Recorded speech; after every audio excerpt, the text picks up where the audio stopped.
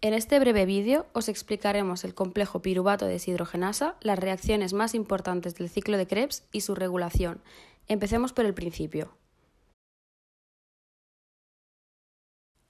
El complejo piruvato deshidrogenasa se basa en la transformación del piruvato en acetil-CoA, ya que este es el motor para que el ciclo de Krebs se produzca.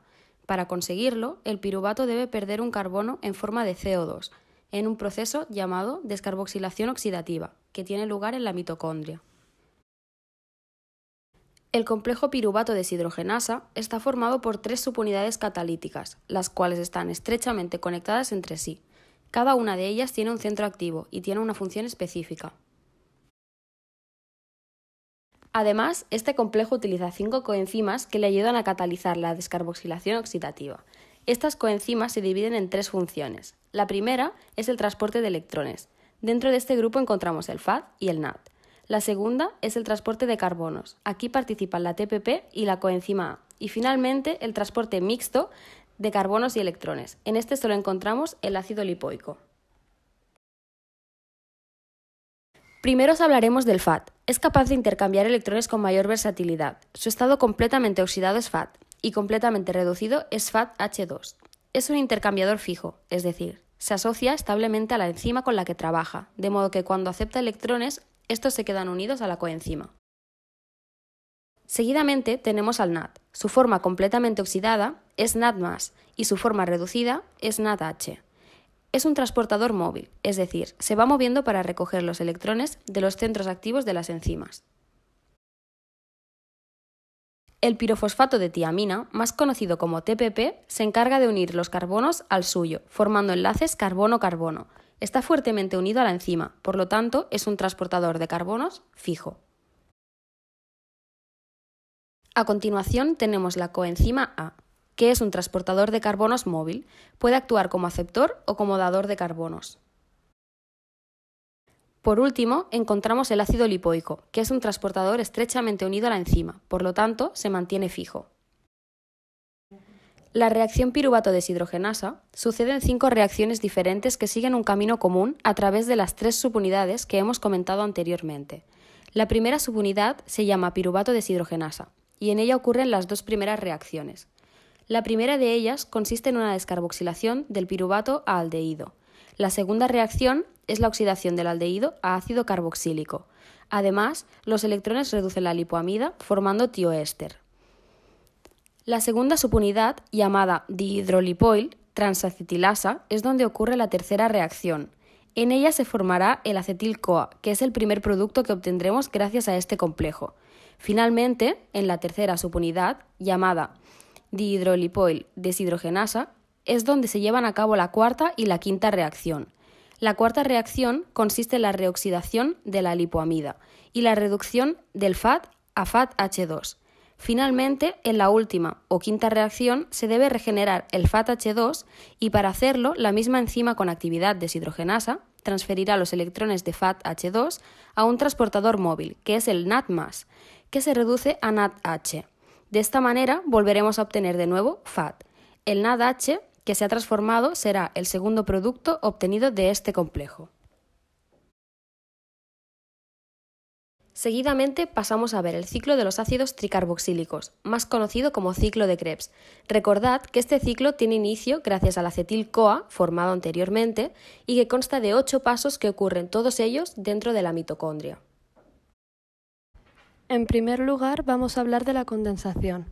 En esta reacción se creará una molécula de citrato juntando acetil-CoA y oxaloacetato, liberándose el grupo CoA.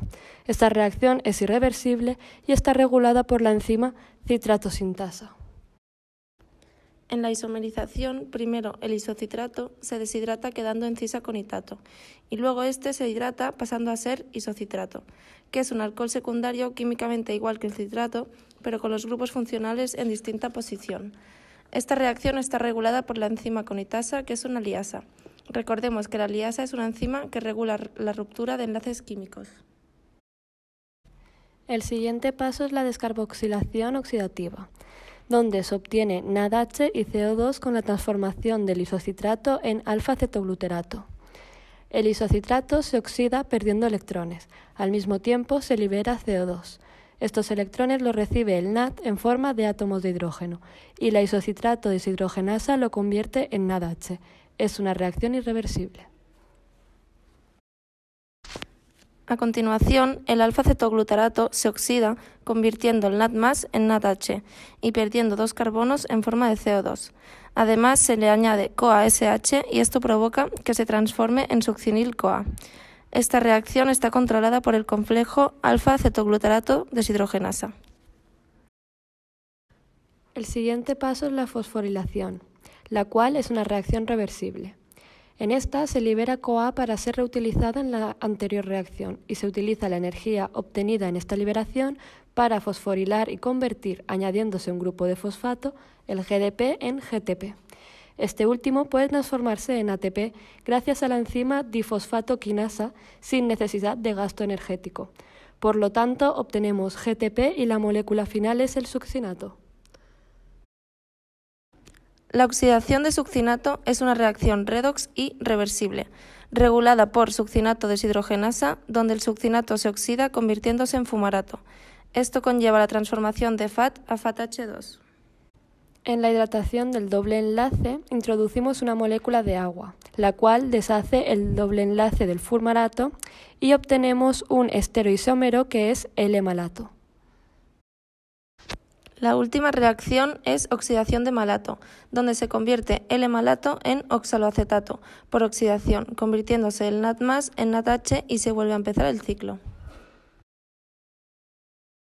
El ciclo de Krebs estará regulado en base a sus dos funciones, la producción de energía y la producción de metabolitos para otras vías, es decir, cuando haga falta energía o metabolitos se producirá. Este ciclo solamente se regula en los pasos termodinámicamente favorables o irreversibles. consta de una serie de factores de regulación, la disponibilidad de sustratos, la inhibición de los productos acumulados porque la mayoría son reacciones próximas al equilibrio y la retroinhibición alostérica de las enzimas reguladoras. Hay varias moléculas que inhiben o activan el ciclo de Krebs. Por un lado encontramos el NADH, que inhibe el ciclo, y por otro nos encontramos algunos activadores como el calcio y el ATP, cuando se da una acumulación de productos, el ciclo se inhibe. En cambio, cuando hay disponibilidad de sustratos, se activa.